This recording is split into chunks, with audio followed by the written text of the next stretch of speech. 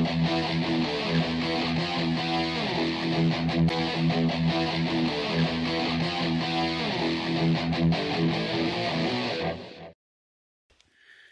can see your chalcopyrite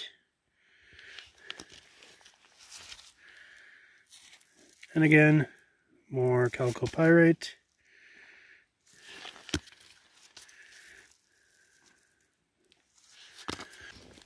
here's another one we pulled out of the ditch right here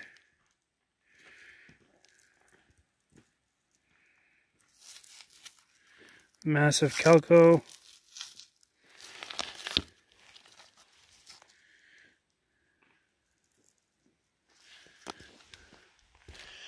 Continuing on, pyrite in that sample. This area right here, we found a whole bunch of samples in a uh, about 15 foot stretch. And uh, we hammered a boulder like that and found some really nice ones. And then these ones actually came from bedrock here.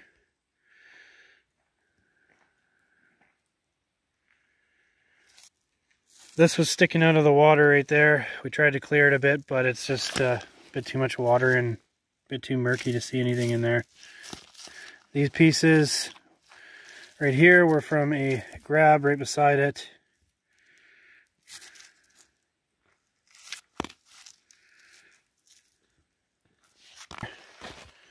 There's a bit more bedrock exposed. We did find some on the edge of here, edge of there, edge of here.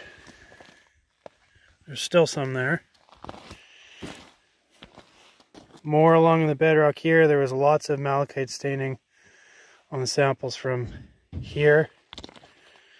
All along in here, sample from in there on bedrock, bedrock there, bedrock there, A few samples from over here, lots of grab samples where this ditch is dug out. Chip some off bedrock there. And this is actually a bedrock sample here too.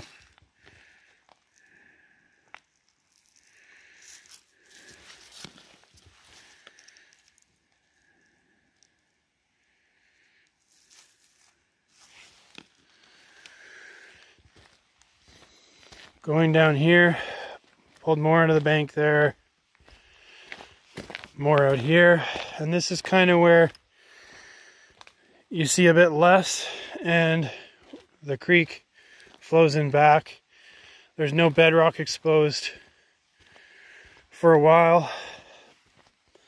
Pulled out a couple samples here.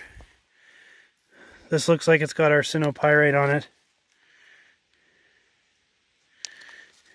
Yeah, definitely got our arseno right there.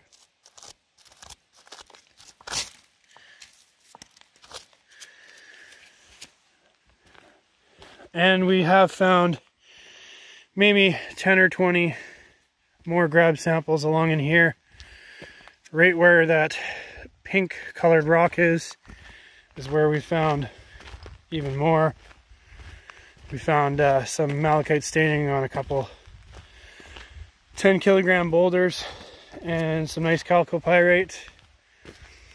And then this is kind of the, the limits of where you find any of the chalcopyrite. So in all reality, I'm 150 meters away from the spot I started at. So we have 150 meters where you can find samples. And I think you're probably going to be about 75 meters, give or take, um, of where you can find it in the bedrock. There was a 1.5 meter block of chalcopyrite found somewhere in the center here. We think it's actually where they widen the road. Um, but yeah, this is the copper zone and this way is where you start finding more of the arsenopyrite samples. But we have chipped quite a few off of uh, bedrock pieces here as well.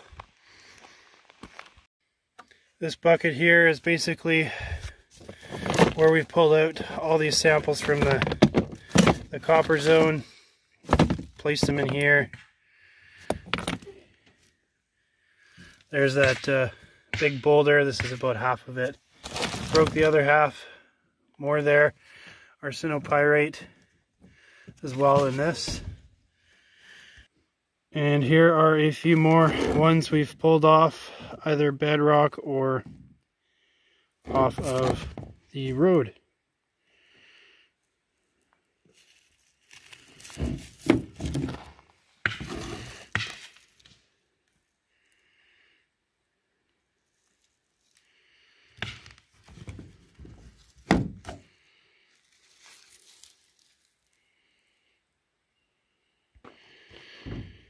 Another few here. This was a road grab. This was dug right out of this trench right here.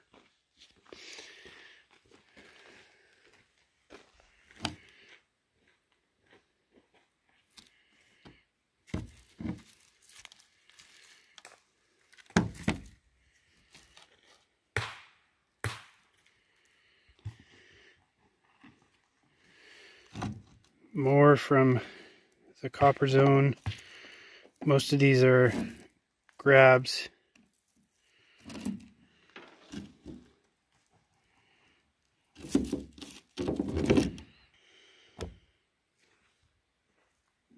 A couple more grabs here.